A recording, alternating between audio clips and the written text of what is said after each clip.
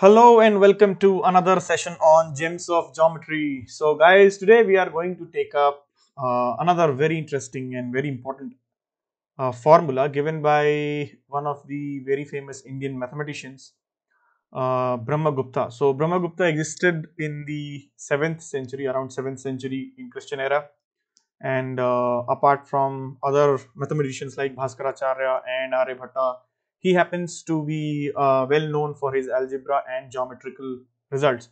So one of the uh, formula which is related to finding out the area of a cyclic quadrangle uh, is what we are going to discuss today. So all you know, all of you know that cyclic quadrangle is nothing but a quadrangle whose all the four vertices are lying on a circle. So you can see here I have uh, drawn a cyclic quadrangle ABCD and it lies on this circle, right?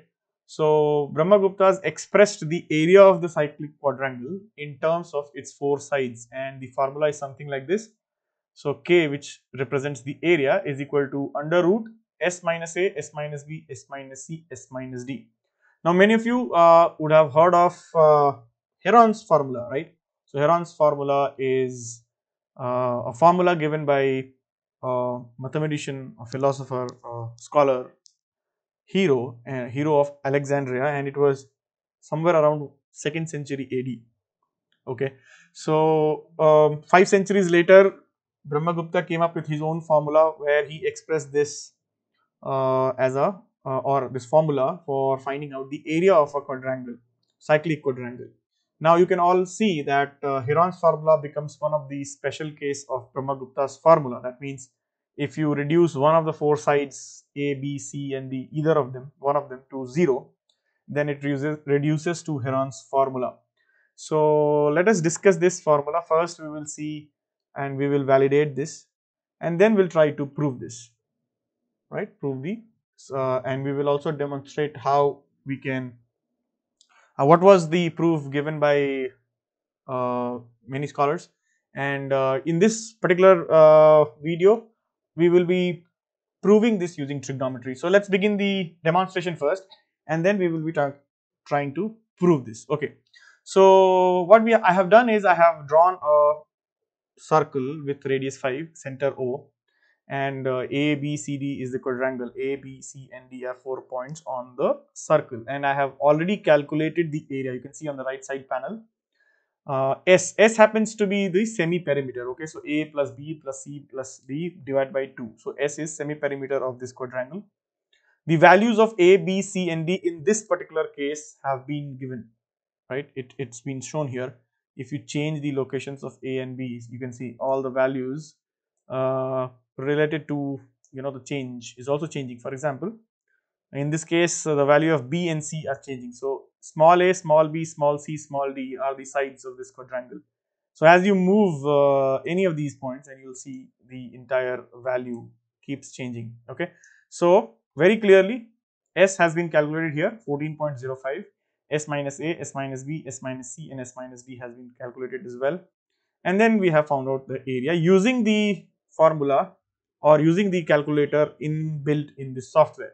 But uh, let us also try to find out the area of this quadrangle from some other sources which or other mechanisms which we have studied. So what we can do is we can always split this quadrangle into two halves. So let us say I join the diagonal BD and if I find out individual you know triangle ABD's area and triangle BCD area and add them it should match up with this value 48.65 okay so let us try to do that. So how do we do it? So for that, I know that area of a triangle, either I can use the Heron's formula itself to find out the area or rather since we have the software here, we will be using uh, the, you know, the formula of half into base into height. So for that, I have to first find out the uh, altitudes from A and C. So let's do that. Let me drop a perpendicular from A to this line okay so this line yeah so this is the perpendicular line on BD from A. Let me find out the point of intersection. So this is the point of intersection E. Similarly, I can drop another perpendicular from C to this line and again let me call this point as F, right. So CF is perpendicular to BD, you can see and AE is perpendicular to BD, okay. Now since I don't require these lines so I can just switch them off so I don't need them. Okay and now I, can simply join the points using a simple line segment. So A, E and F, C. So basically now we just need to find out the base, this BD length, length AE, length FC and find out the area of the triangle. So for that we need the formula panel here. So let me do that. Okay. So now uh, the area, so keep keep in mind the area which is there already calculated by this formula, Brahmagupta's formula. How much is it? 46.3 and let's see whether we can match this using our conventional method of you know uh, finding the area of triangles. Okay so let me let me first define few lengths. So i'm defining d1 you can you can see on the right left hand side panel here d1 right? So what is d1 i'm defining d1 as so it's already yeah so let me start with d1 is equal to right? What is d1 uh, distance. Okay distance between which two points? A and e right? A comma e. So this is d1 so d1 is 5.27 yeah? So d1 is ae distance ae okay or rather i can change the name and uh, put it like this so that it becomes much clearer yeah? Dae okay? So dae is this. I can put the label maybe? Yeah so but this label is different. Let be. Oh sorry. So yeah. So i is the name of this thing but i don't want the label. Let, let it be. So dae is distance between a and e. Similarly d let's say f and c. Okay?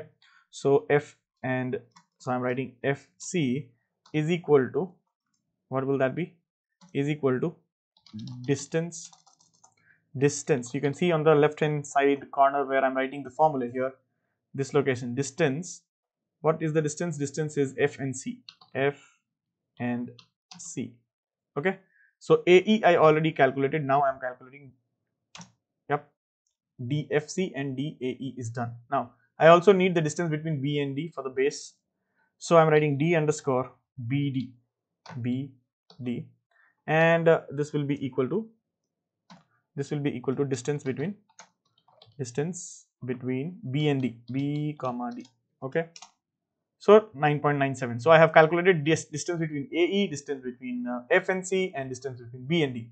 So let us say the first area A1, the first area or I can write area of triangle ABD. So let me write it as ABD. Okay, area of triangle ABD is equal to how much? Half, so 1 by 2 into base. What is the base guys? So I have to write 1 by 2, 1 by 2 and into half into base. What is base? BD, right? So I have to write D, BD, D, BD into, into which one? D, AE, isn't it? So D underscore AE, right? Here is the value 26.24. So area of triangle ABD is 26.24. You can always check it from this tool as well because we have area tool. So you can always find out A, right? 7 c1 oh this is our circles area. So we don't need this. Uh, we don't need this. We need the area of area of the triangle. Okay so let me delete it. So i have to find out area area. So select polygon circle or conic. So i have to basically define a polygon for that. So let it be i'm not uh, doing that i am again calculating through our usual mechanism now i am interested in finding out area of BDC or BCD. So let's say BCD. You can again uh, focus here and you will be able to see this. BCD is equal to half again. So 1 by 2 and then into base. Base is again BD. So DBD. Okay. And then multiplied by the altitude FC. D. Correct? And here is the area. So 26.24 and 20.06 so total area of the quadrangle would be area total area let's say uh, a underscore abcd okay so this is the area of quadrangle abcd will be nothing but a abd underscore area of abd plus area of area of um what area of bcd is it? Bcd correct? And if you add see whatever what what is the value i'm getting? 46.3 and let's check what was the value here we had got 46.3 see it matches. So here you can see 46.3 was through the calculation. Which calculation? This calculation. Under root s minus a s minus b s minus c s minus d. I have done that calculation. And here area is coming out. If i sum the area of the two two parts of the quadrangle i am also getting 46.3 so that means this area does work. Okay so what i can do is i can always change these values. See if i change the location of uh, let's say point a right? So you can see yeah 44.72 and let me put it on the same frame so that it becomes easier to view. So 44.72 so whatever i do so i change the location of b so 45.58 45.58 right? So here anywhere you can take d here. So 37.4 37.4 so that means what?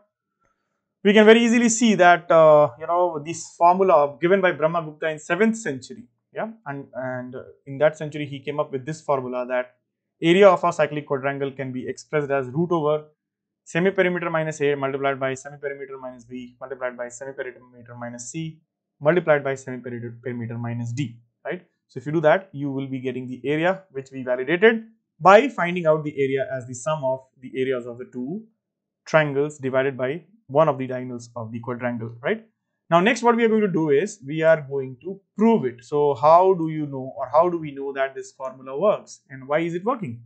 So let's check that proof out.